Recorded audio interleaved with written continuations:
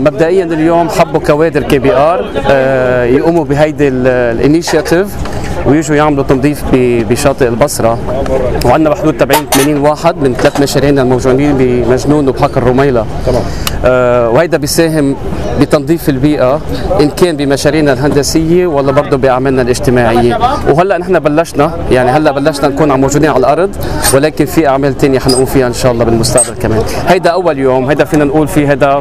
قبل كنا شاركين بأعمال بجامعة البصرة آه للنفط والغاز وهلأ نحن موجودين هون وفي أعمال ثانية إن شاء الله حنقوم فيها بالمستقبل أكثر طبعا هي حملتنا هي activity مزامنة ويا آه، كثير من الحملات اللي انطلقت من أبو ظبي. آه، تقريبا هو الفرع الرئيسي ل KBR آه، بمنطقة الشرق الأوسط. هي تكون أول حملة اللي اسمها One Ocean اللي بلشنا بها من كورنيش شط العرب. طبعا هاي الحملة تتضمن عدة activity ات أو عدة أنشطة اللي من ضمنها راح تكون أيضا لحملات لتثقيف العوائل البصرية.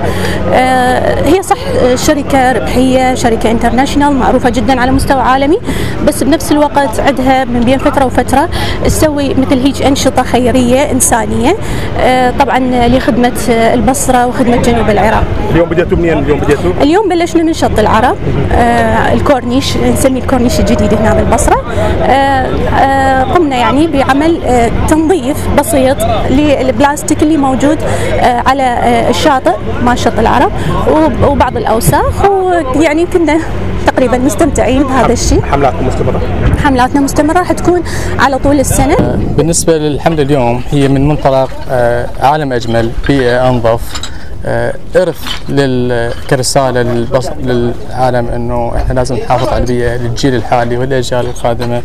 من ضمنها كانت شاركوا العوائل والموجوده للكوادر الموجوده أيضا.